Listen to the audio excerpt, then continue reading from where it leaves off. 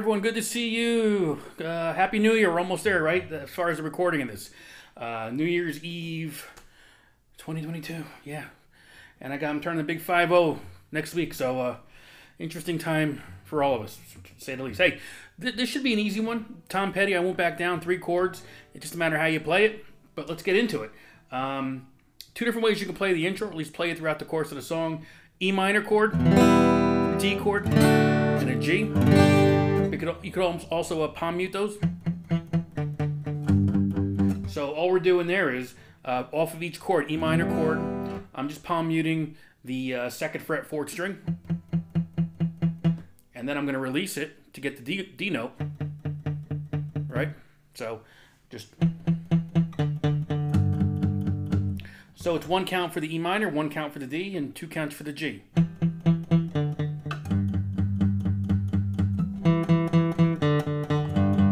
would use some palm muting there just to kind of give it some dynamics. If not, strum it. And, and I'm strumming it like this.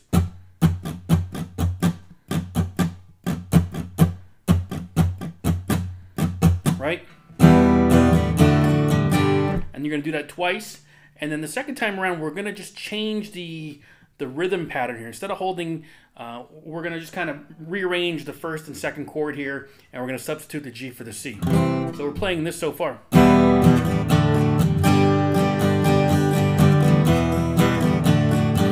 Here's changes.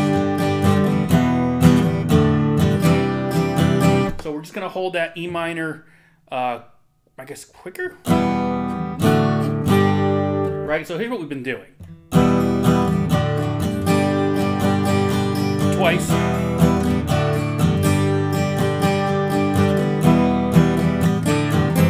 So you're holding the, the, the, first chord a little bit longer, and you're going to substitute the G for the C that third time around, and then the fourth time we go back to what we've already been doing. All right, and then the won't back down part, what I've been doing is it, you're going to start on a G, and all I'm doing there is this G with the open B string, and I come in to hit the C note.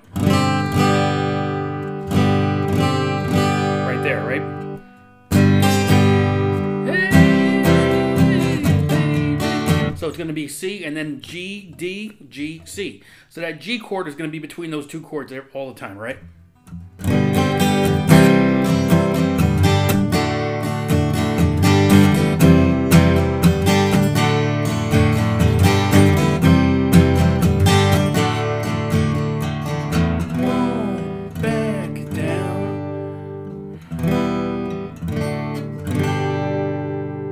Song basically. So just play along with it, listen to it. But those are the main the main parts of the song, and if you can play those, just listen to the timing, you're good to go. See you on the next one. Later.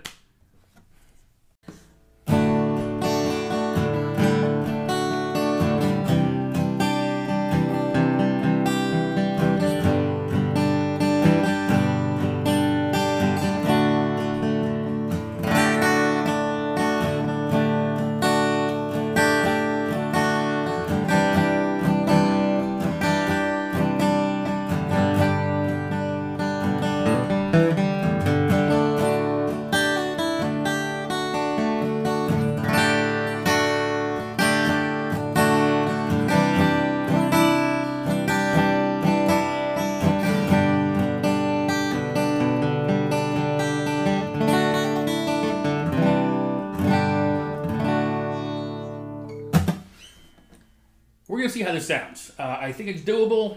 Um, you're gonna tell me, obviously, because you always do. Um, Guns N' Roses, "Sweet Child of Mine." Uh, we're gonna break this down to its most basic possible form, the acoustic guitar.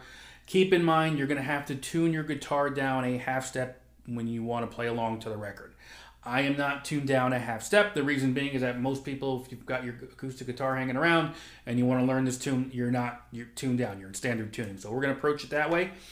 Uh, but you can do it any way you like. So, uh, but the chord structure is fairly simple. A D,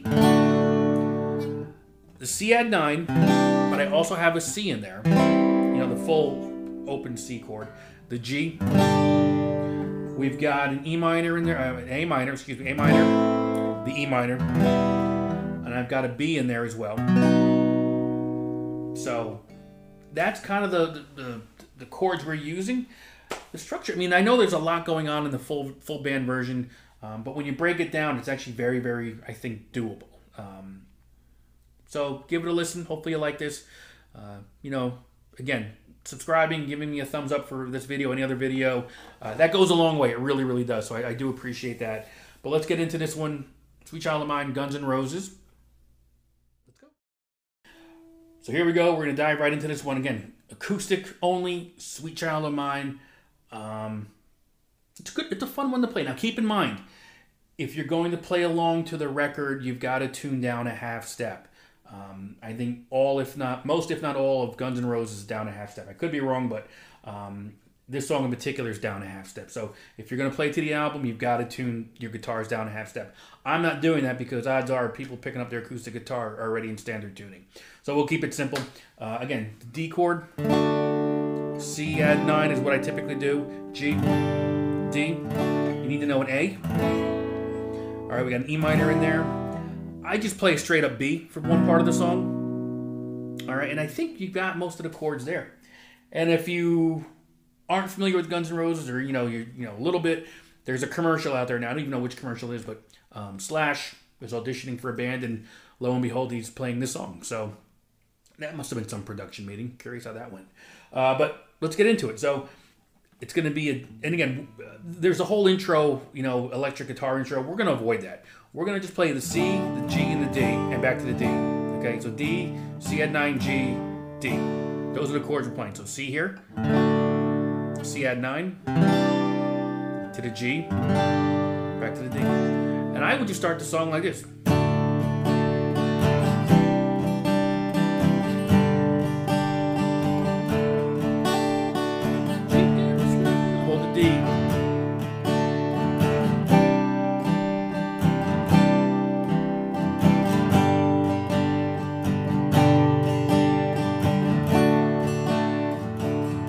Here's my strumming pattern.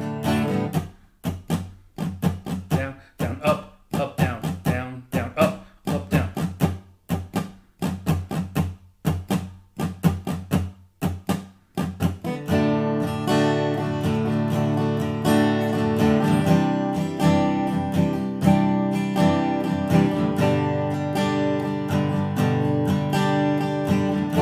And here's how I'll, add to this progression a little bit um, with these chords.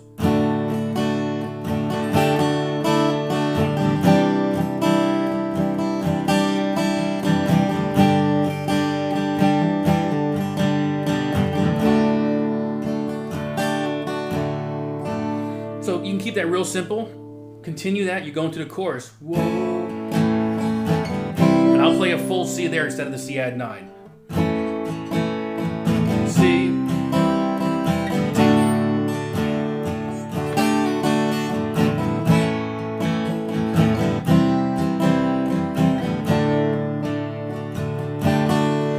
Here's the first solo fill that comes in right after the first chorus going to the second verse. I just tend to be a little creative and do this.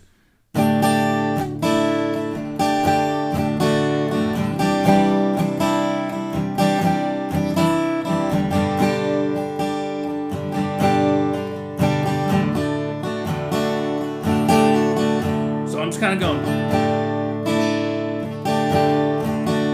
So I'm going suspended four on the D to either a D or a suspended two. I leave that up to you. To the C add nine, I'm taking my pinky off. You can see that to get that open E, high E open. To the G, and I don't do. I just kind of keep it as is, right? To the D.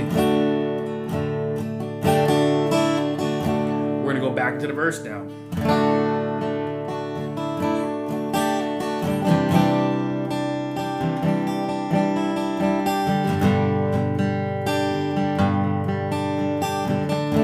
You got bass notes in there you can use too. So you got your open D for the D chord. You've got the uh, C note, which is the third fret of the fifth string, and then the third fret of the sixth string for the G. All right. We're going to go back into the chorus, which is the A. And here's a little, if you want to kind of work on some dynamics, being that the chorus is, is you know, sung twice basically, Go to that C add 9. Second time A, and then just go with the full C. Subtle differences, but they could make a big difference in terms of, you know, just dynamically how you're hearing it, okay? Back into what we've done, and now we're gonna get into like the solo and the outro, because everything we've just kind of, everything we've just learned, it's almost like the song is cut in half and things change as far as I remember. So um, we're gonna E minor to the C to that B to the A minor. You can hear it now.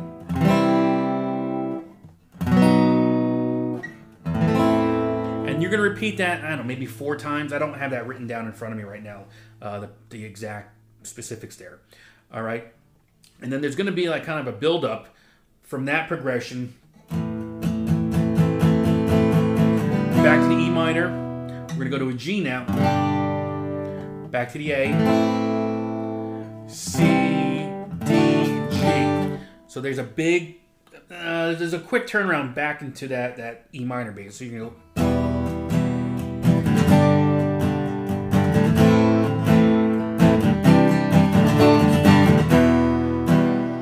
I hear that G in there. I don't know if it's quite in there, but we're kind of making this our own. But I think that G is a cool little turnaround. You know, to go back into the uh, um, the E minor because they work well together. And that's kind of the, the, tune right there. So it's just a matter of building that piece of it out, dragging it out. How many times? I don't remember off the top of my head. Um, but the ending is these two different patterns E minor, C, minor.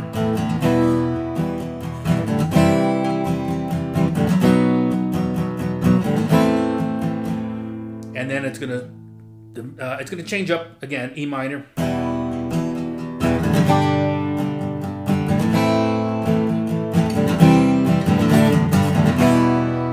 E minor, G, A minor, C, D, to that quick G. Uh, and I think at the very end, there's a there's a you're gonna hold that C. I think if I remember correctly, I'm just thinking about this now.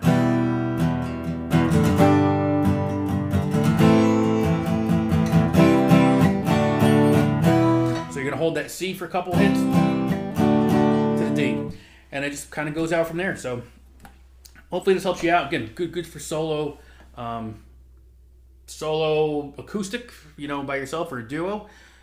Uh, enjoy it, and I will see you on the next video.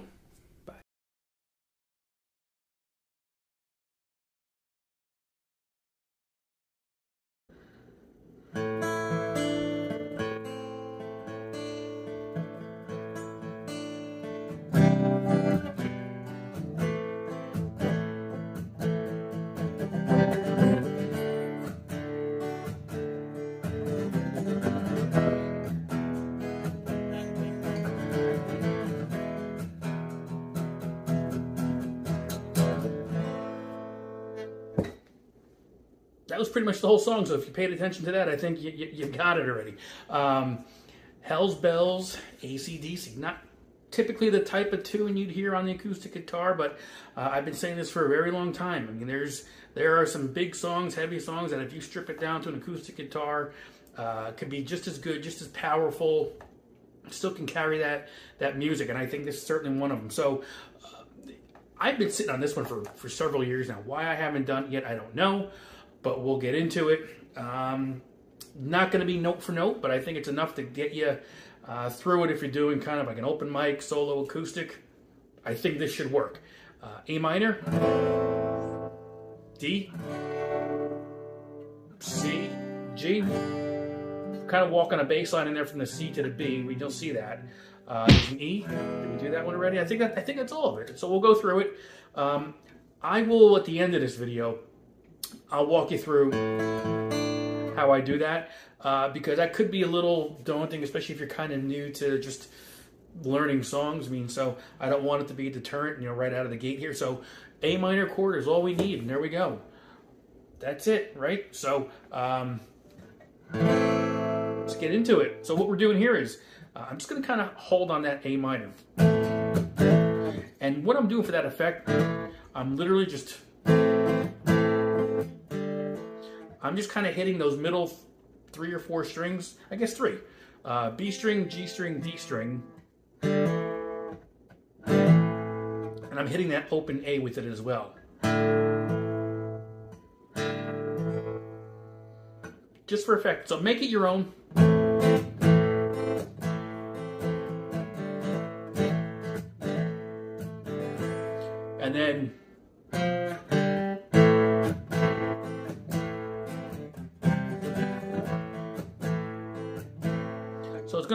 To a C chord, and then I'm going to walk it down to the B note,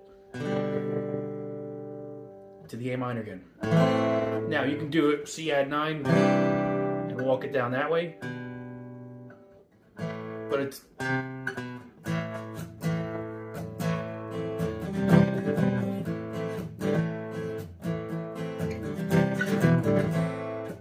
And that's the verse, you know, rolling thunder, pouring rain. Make it your own because this is kind of what we're doing here, right? So now there's going to be that, that, that pre chorus D, C, G, D. And what I'm doing, I'm, I'm, as I'm watching myself do this, I'm doing a lot, like I told you, that open open strings to the A minor. I'm kind of doing the same thing on the D. I'm just kind of giving it a little something other than just strumming. So make it your own. D to C to the G. Twice. Then we go to the E. D and A. And I hold it. And then we get to the Hell's Bells, back to that A minor.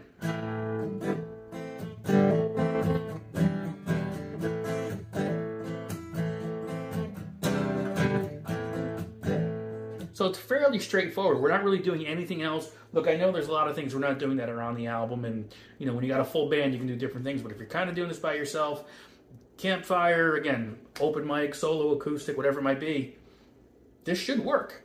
Um, so again, we'll go through it real quick, and then we'll get into the arpeggiated intro. A minor. C, and you can play the C this way, you can play it this way, but you're going to walk that C to the B. And that open A it just works in conjunction with the A minor chord. To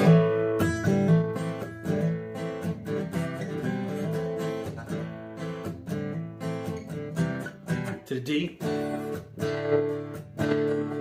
C, G. Same thing, and then E. To the D and the A. Hold that A, uh, hold that E.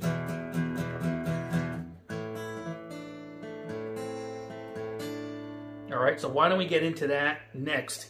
Uh, and again, hopefully you like this video. Do me a favor, like, uh, subscribe, tell everyone about it, really, because um, by you liking it and even subscribing or vice versa, um, it means a lot to me, and it just kind of shows that you, you dig this, and uh, maybe it'll show other people as well that are into the same type of music that they might dig it too. So I, I appreciate it. Uh, let's get into that intro right now. So we're, all we're doing is holding the A minor chord, and I'm using my pinky to hit that third fret on the open E, uh, the uh, low E, high E string. Okay, that's the only variation we're doing, but pretty much everything is going to be built around this open E here. Uh, open A. Wow, let's get this straight here. so your fifth string A. So I was completely wrong with that. I'm going to be using my pinky on the B string of the third fret. I'm going to play it slow. We'll take a closer look at this. Uh, I'll try to do it where you can see my picking attack as well as the, the, the, the fingers and what we're doing, okay?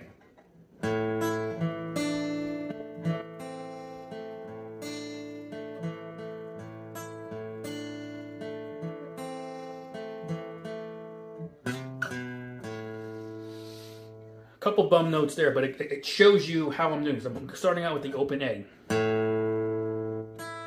the open E. That open E kind of just rings and it drones. It just kind of, it's ringing out there. Okay, so open A to that open E to the open A again to the third fret of the B string. back to the open A. So we're just kind of going back and forth between those notes.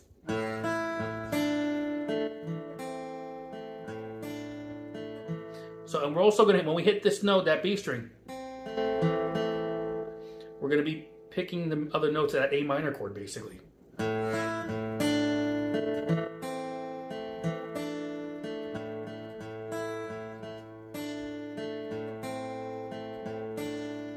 the turnaround, C, B, and that open A would be in conjunction with the A minor chord. So you, when you get to that A, you're already starting the riff all over again. So you got to go right back into that high E string, okay? Right?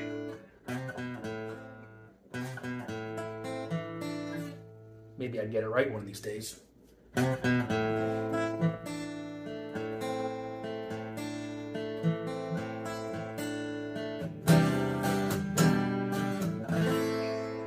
Kind of it in a nutshell. I mean, make it your own, but that's kind of how I'm doing it. Uh, every time I do it, it seems I seem to do a little bit differently, but you've got those certain notes in there you need to hit just to kind of make it work. Thank you. See you on the next one.